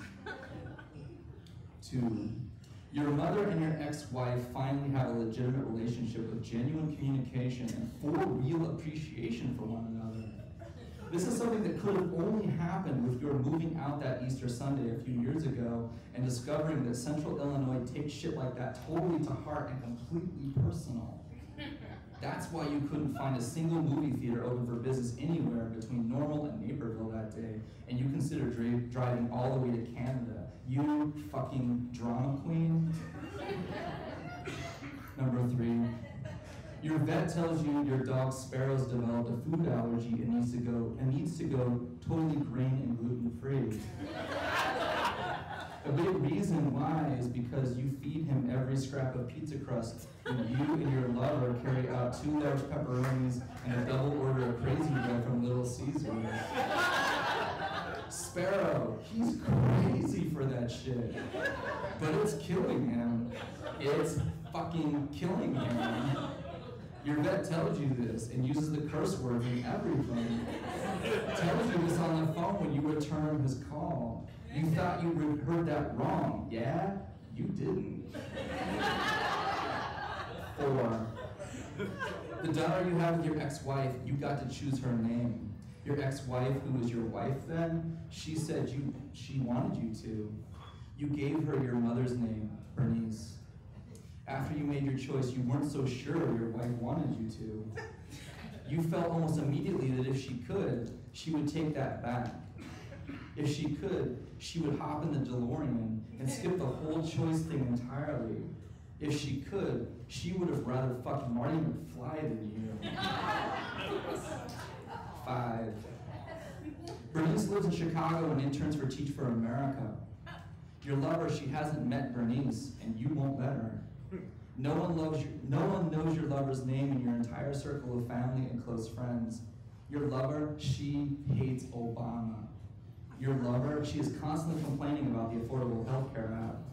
Your lover, you stalked her on Facebook, and you almost gave everything away when Bernice posted on your wall to say hi, but you were logged in as your lover and responded as your lover, and then had to scramble to delete your likes and responses, and that caused yet another more epic fight, the end of which you're pretty sure you've yet to see. Six, you reconciled with your ex-wife briefly over 4th of July. Bernice was there. The three of you went to Michael's and bought make-your-own jewelry box kits to build together at the lake house. You bought a wood-burning iron too. The third, the three of you built your jewelry boxes on the patio with the breeze in your faces. You used the wood-burning iron to scratch sayings underneath the lids, so when you opened each box, a saying was there. It was like a gift. You scratched "Families are forever" into yours, and scrawled a crude heart around the first R. Bernice fell asleep after the big fireworks show on Lake Michigan, and your ex-wife asked you to make love to her, and you did as she asked. And then a few hours later, she asked you to do it again, but she didn't ask so much as tell you, and she didn't use the phrase make love at all. And you did as she asked and told you in pretty much the exact intensity and fury in which she demanded it. The next time, though, you saw that jewelry box, it was in a padded envelope, just splinters and singes and screws. Seven. Bernice is pretty much invisible on Facebook anymore and hasn't updated anything there for a while. She still texts though. You have your set to make you have your phone set to make a special sound when she texts you. It's the sound of a clown honking a horn. Most months you hear it a couple times, but there are a couple of months you don't hear it at all. Your lover texts you all the time, hundreds of times a day, so much that you've disabled a tone for her entirely. These days, you find yourself contemplating blocking her altogether, and you consider as way more than you used to, way more than you ever imagined that you could. The only number you've ever blocked is your ex-wife's. When you were still married, neither of you texted, and only your wife carried a cell phone. Your wife, she called you on her way home from work, and you stayed on the phone with her as she rode the train to the bus, to the car, and a lot of nights she brought home Kentucky Fried Chicken or cheeseburgers from Wendy's, and you watched Jeopardy and Wheel of Fortune, and then put Bernice to bed. There was never a ringtone for her, for your ex-wife, until after the divorce. And there was never her asking you to love her either. Those were the days when your statuses didn't need updating. Thanks a lot.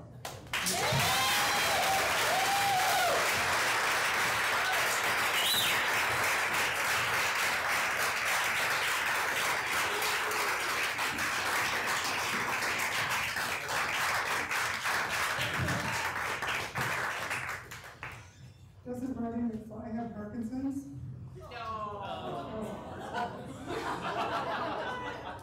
Okay, if, um, Jared John Smith sent the shortest, Michael Sage Ricci sent the longest.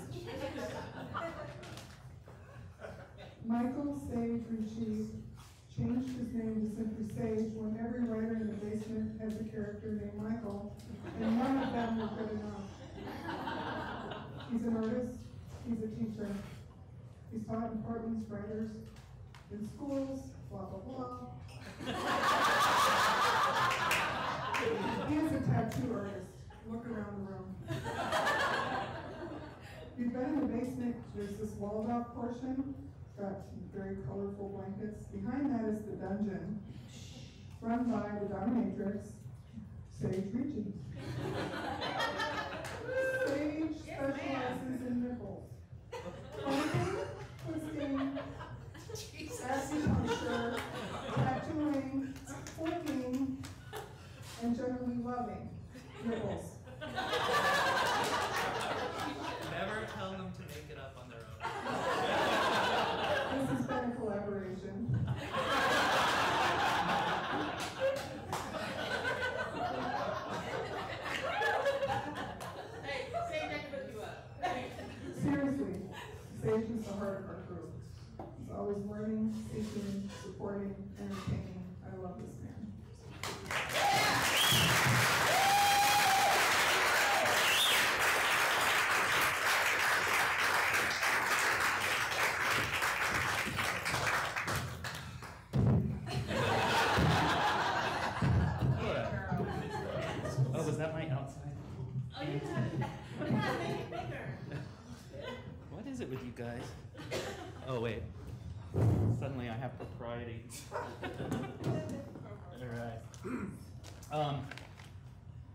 so this is something no one's heard before. Is this, is this weird? Okay, so this is a piece from my novel, uh, Where the Jersey Devil Lives, that nobody's heard before. I'm in the final stages of it, and I'm loving lingering in places and finding little spots to just drop in and find some new love for it. So, um, this is, uh, you don't need any other context except Bruno's his mother, uh, Bruno's his father, uh, mother is his mother, and um, All the other names are other kids at school with. Oh, and Frankie is his brother. Um, When I was a little boy and I would get in trouble, the worst part of all was waiting in my bedroom for Bruno to come home from work to decide my punishment. That in itself is a strange memory for me because for most of my life, it was always mother you had to tell what happened, mother who got pissed off, and mother just who decided how to punish you. But not when I was little. After Bruno came back from the war, before he became so pathetic, Bruno was the one who, you had to wait for to tell you what you, you had to wait for to tell what you did wrong at school, or how you got even with Frankie beating on got even with Frankie beating on you by putting thumbtacks under his sheets, and how you laughed so hard when Frankie jumped into bed and screamed bloody hell. In my house, you learned to fight early. And always, every time, after being sent to my room for the afternoon to wait for Bruno to come home, always, I crawled under the bed and into the corner to hide. A dark secret hole where I waited for the world to fall down on top of me. The time I remember it most clearly, that waiting, kindergarten, first grade maybe. Even back then, Mar- Marissa Macaluso was a pain in my ass. On the playground, Marissa Macaluso was playing Foursquare with Patrick Kelly and Kathy Rosen and Kimmy Wills. Patrick Kelly was my desk partner, and he had red hair and blue eyes and freckles like mother, Irish eyes, mother called them. And I wanted him to play in the jungle gym with me, but he wanted to play with the girls. I sat on the bottom rung of the jungle gym, and man, even then, I can see it so clear. Right out of the gate, I always felt like a fucking chump. Probably didn't even know the word yet, but I was already it. And wouldn't you know it, Marissa Macaluso wouldn't give the ball to Patrick Kelly, and he was laughing at her, with her, not getting mad for holding for her holding on to the ball, but I was getting mad for him. They both looked at Kimmy and Kathy and laughed at them with their hands up on their mouths, saying, "I dare you. Go to go ahead, do it." Marissa leaned over to Patrick, and we were all little kids and we're all the same size. But back then, everything seemed so big. The whole world was that playground, that jungle gym. The whole world was Marissa leaned into Patrick, and a kiss on the lips for just a second, a peck. And Patrick wiped his mouth with his hand, saying, Ew, but he smiled too, a big, bright, sunny Irish smile. And the other kids, the boys and girls standing around with Kathy and Kimmy, all of them watched Patrick and Marissa, and everyone laughed except me, baby chump. All I could think of was mother and how when mother got mad, the whole house would shake. Near the jungle gym was a big stick. I mean, I guess it wasn't very big, but like I said, we were little kids and everything was huge. It was a gigantic stick. It was the biggest stick ever. And I picked it up, and the whole wide world of those stupid other kids, and the stupid jungle gym, and the stupid kiss, they meant only one thing, and everyone knew what it was, that meaning, except for me. I was outside it. I just knew I had to walk up to Patrick Kelly and start beating him over the head with the stick. Kimmy and Kathy and Marissa started screaming and crying, and Patrick was yelling from the ground, and there was blood on his freckles and his stupid smile, and his blue Irish eyes were crying. I kind of lost it all there for a few minutes. Next thing I knew, I was sitting outside the principal's office crying, but no one cared, and no one talked nice to me. Then mother arrived to pick me up and take me home. Mother silent in her old Chevy car the whole way home, not a word. I was sniffling, doing that crying, whining thing people, the crying, crying, whining thing, hoping she would answer me or talk to me, but she didn't. Her huge sunglasses covered her eyes, so you couldn't tell when to shut up or when to push it. She had her fat hands on the station wagon steering wheel, on, on the Chevy steering wheel, and her fingers punched the metal buttons on the AM radio to get the preset station. She turned the volume up to high. Hold me closer, tiny dancer. In the driveway, she shut the car off and the radio cut off too. Mother pulled her sunglasses off. A deep breath in those eyes, the way her Irish eyes can be so startling blue, full of everything she wasn't saying. Giant blue moons full of hurt in that god awful way you can feel so small and you have committed the most grievous sin of letting her down and that I better shut up and do as she says and not push her. All in that look. And I couldn't bear it. I had to look away. The shine of the chrome buttons on the AM radio. Finally, mother talked. The sound of the hurt worse than the look in her eyes. You go right to your room and wait until your father gets home. You think hard about what you're going to say to him. The disappointment in those eyes. I thought I raised you better than that, she said. That few, that few hours under my bed was the longest in my life. I hid out down there feeling like the worst person in the world. I didn't even know why I had beaten Patrick Kelly with the stick, what that weird feeling was I felt when I saw how he looked when Marissa kissed him. Blue eyes, just like mother's, and he was supposed to be on the jungle gym with me. That waiting, it was just the worst thing ever. Hours, years of misery, exposed, time slowed to all the worst ways you can imagine yourself. The anticipation of your punishment for not really knowing what you did, but you knew it was wrong and you didn't know how to do different. Bruno's car pulled in the driveway, door open and closed. I wanted to run away. Deep in my belly, I wanted to puke. Then the front door opened and slammed shut. I crawled out from under the bed before mother shouted for me. I was ready for her, standing at the bedroom door with my fingertips on the scratchy wood, breathing, trying not to faint for this terrible fear of my father, with the shame in my body of that look in Patrick's eyes and that uncontrollable arm of mine raising and lowering that stick again again and again. Mother, Oliver, get your ass in here. The long walk down the dark hall, all clutter and picture frames, one foot at a time. My life was over. Mother handing Bruno a beer, and that way her mouth presses into a thin line. I swear these kids, they're gonna be the death of me. Bruno, my father, so big and powerful to me back then.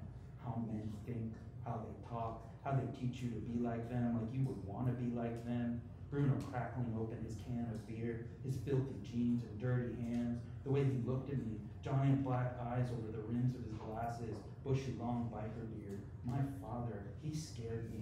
I loved him. I told him the story, how I remembered it. The way little kids talk and you can't really understand them, blubbering and breathing funny. I left out the surprise on Patrick's face, and the blood, and his freckles. I had to tell it fast or I was gonna puke. Well, it turned out Bruno didn't give a good goddamn. He just laughed. Bruno laughed and I couldn't believe it. He laughed into his beer and reached forward, patted me on the head, and I guess he understood sort of, but not really, because he said, Attaboy, soldier, that'll teach that little fucker to mess with a Gianetti, or a girl that a Gianetti likes. and Bruno winked at me, the eyes of my father, all that black hole inside brown iris, something inside there, the way men think, attaboy. I remember mother getting pissed, kind of remember them fighting after that, but it wasn't really unusual and may not be true of that day. What I do remember fully is feeling such relief. That whole time I waited under the bed, I thought Bruno might, I don't know, hit me, maybe kill me, the way little kids can be so afraid, giant nightmare fear of the whole world wanting to fall down on you and swallow you whole. That was it, I think. I had unknowingly committed a great sin, and the world was pissed off and was passing judgment on me. Forever, I was ruined forever. And then I was saved. I had nothing to worry about because Bruno, because my father took my side, except it was a lie. Because I hadn't been mad because Marissa kissed Patrick. I was mad because Patrick kissed back. He was supposed to be on the jungle gym with me. And I knew, even then, even that young, even as baby chump, I knew that Bruno and mother and everyone else, that great big giant world, all of them, I knew them not knowing the truth was the only thing keeping that whole entire world from falling down on top of me.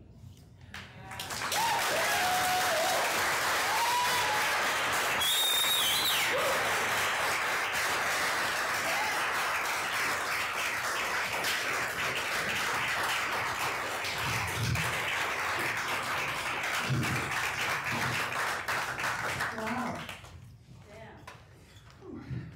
At the break, someone says, you're funny, but you're no Robin Williams. Excuse me. Well, they did say it, I didn't make it up. And you just leave it Yes. How to, uh, introduce man, how to introduce. Too soon. Start with a verb sentence.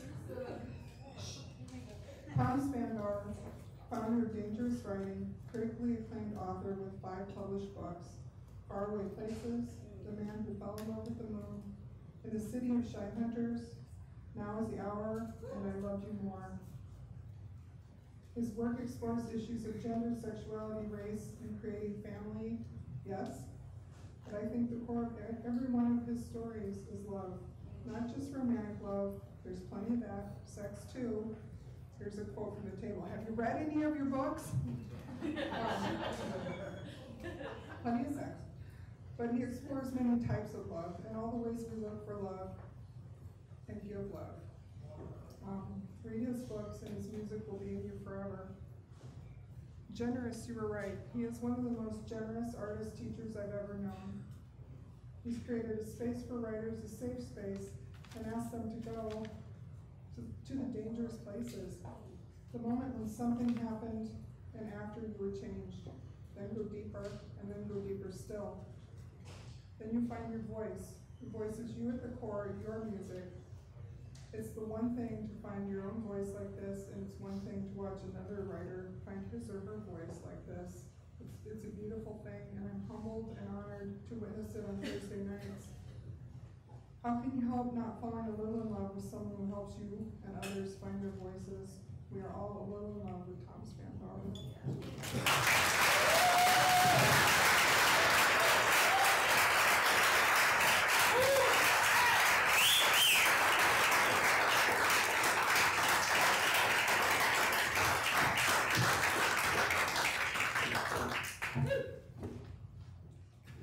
Think you're gonna be able to do it?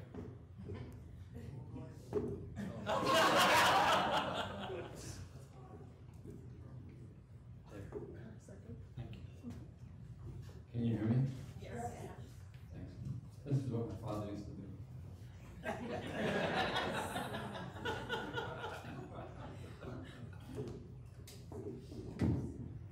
So, uh, can I see? Yeah. I'm reading from I Loved You More. Um, it's 1988 in New York City, and um, Hank has asked Ben to take him to a leather bar, a gay leather bar. Uh, and Ben has always referred to this leather bar as Pluto. And this is the night that Hank comes over and they get ready to go to the spike. Christmas holidays, that night before Hank comes over, I feel I'm some kind of lascivious despot corrupting an innocent child. And Christian, an innocent child, but we're also homophobic. When I open my when I open my apartment door, I can't believe my eyes. Hank's dressed in clean jeans, a black belt, white tennis shoes, and a button-down long-sleeve blue, Oxford shirt tucked in his pants. A shiny green winter parka. His hair washed and shiny. Standing there in the hallway of my building, he looks like he was going on a date. A heterosexual date. What, Hank says. Nothing, I say. Don't I look like a gay? Hank says. Come in and sit down, I say. I'll get us a beer. Hank unzips his parka, lifts his right arm up, smells his pit, then his left arm. See? No pits. And it's hot in the subway, Hank says. Mennen stick always works good. I step back, let, let Hank walk in, then close and lock the door. That place right there, one of the only, one of the two, only two places in the apartment big enough for two to stand. For a moment we stand. Mint breath, Mennen stick, a quick touch of hands, not the way guys usually touch, but this is Hank. His eyes, always takes me a while to look right into Hank's eyes. That night, after my deep breath, when I look, Hank is scrubbed and shiny as a new silver dollar. Light coming out of him as if light was what he was made of. I've cleared away the papers on my writing desk, pulled up my, my pulled up my chair so we can sit. And Hank takes off his shiny green winter parka. I get his two buds out of the fridge, find the opener in the drawer, sit down next to Hank. You don't go to Pluto looking like Jupiter, Say.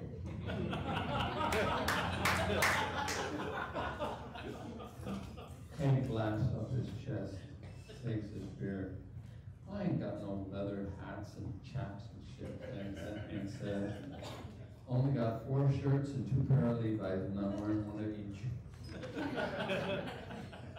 Maybe I'm jealous of all that light is why I feel I need to cover it up. You don't understand, I say. You want to be the drama or watch the drama? Rooney Hank says, for Christ's sakes, I'm in jeans and a t-shirt. Uh, I'm in, I'm in jeans and a blue shirt. You want to disappear, right? I say, well, believe me, right now, you look like a straight guy, Hank says. Yeah, I say. So let me give you some homosexual leather hair, leather bar fashion tips. but the way you talk about it, Hank says, these guys don't care about fashion. I'm just saying there's a uniform, I say, with not a lot of variables. Plus, I say, you're beautiful. Come on, Rooney Hank says. And we need to put a lid on it, I say. Believe me, you walking into the spike looking like a beautiful straight guy, every man in there is gonna want a piece of you. At the back end of my apartment, really only two steps from my writing desk, under my locked bed, just at the door to my bathroom, I have a little space only I ever go into. The only other place in my apartment where two can stand, but nobody ever makes it that far. On the wall by the bathroom door is a full-length mirror. To the left, there is a my stereo. On the other side, under the steps up to the loft bed, my closet, my chest of drawers. A space shaped like a horseshoe, horseshoe, just long enough to lie, just long enough to lie down in, wide enough to turn around. How many nights I've danced in front of that mirror, the fluorescent light from the bathroom slanting down in to Luther Vandross, Teddy Pendergrass, Barry White, Randy Crawford, the, Rev- the Reverend Al Green. That night that Hank steps into my place where only I've ever, where, where, where, where that night that, that Hank steps into my place where only I ever go, when he stands in front of the mirror, what I planned on doing is getting Hank out of that blue ironed Oxford shirt and into something less bad boy street. But when Hank walks into that private space of mine, there's something in my chest that can't, and I can't breathe, propinquity. Hank's just right there and he's taken off his blue shirt and it's for sure I'm gonna fall over. I take his blue shirt, hang it up on a hanger. Then it's a sparkling white t-shirt, you can see his nipples through, that's gotta come off. So the t-shirt comes off, and there I am standing in the tiny space holding on to Hank's white t-shirt that smells like men's Hank's subway ride from the Upper West Side. In order to get to my chest of drawers, I gotta move, and there's no way that I can move, not touch Hank's naked arms, or his naked back, or his naked chest, or all of the above.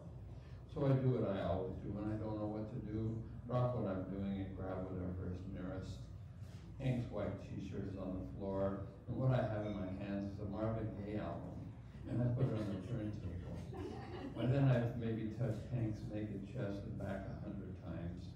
I stand there trying to find breath, watching the turntable arm lift up, watching the turntable arm move over onto the record, watching the turntable arm hit the record, that crackle. That quick, it's magic the way things happen with Hank. Gotta give it up starts playing. I'm rummaging through my chest of drawers for God knows what. Gotta give it up is the best dance song ever. Sure enough, Hank starts dan- dancing with himself in the mirror. Same way I dance with when I'm alone, in the same spot. So how am I supposed to look, Hank says. Hank looks exactly the way he's supposed to look, and that's the problem. Incognito, I say. Latinate, Hank says. Hank goes to the fridge and gets more beers. He wants to hear Gotta give it up again. So I pick up the turntable arm, that loud record crush through the speakers, set the turntable arm back down, gotta give it up again.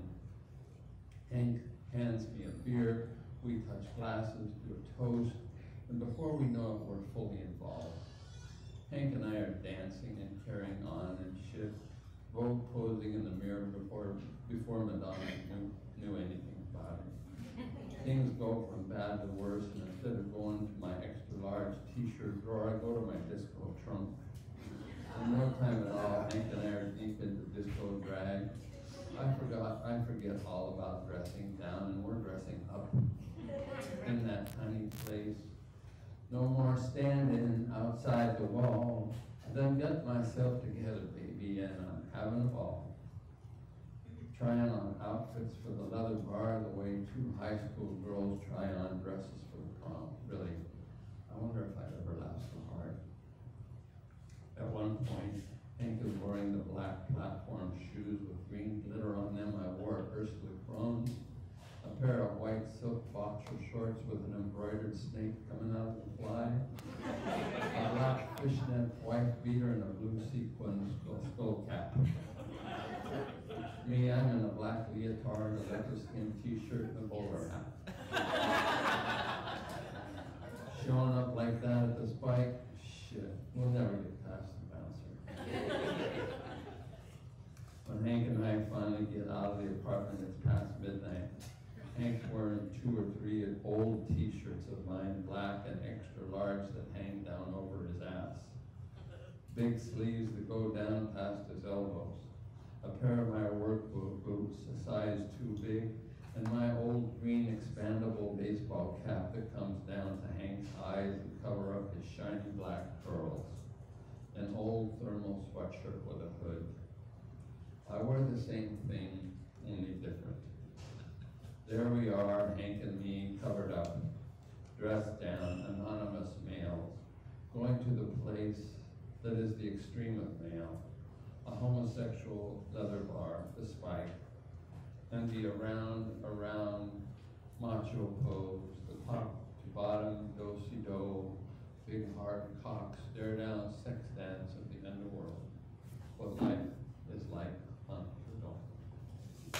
is Burnt Tongue nine, nine, yep, and I'd like to thank a few people.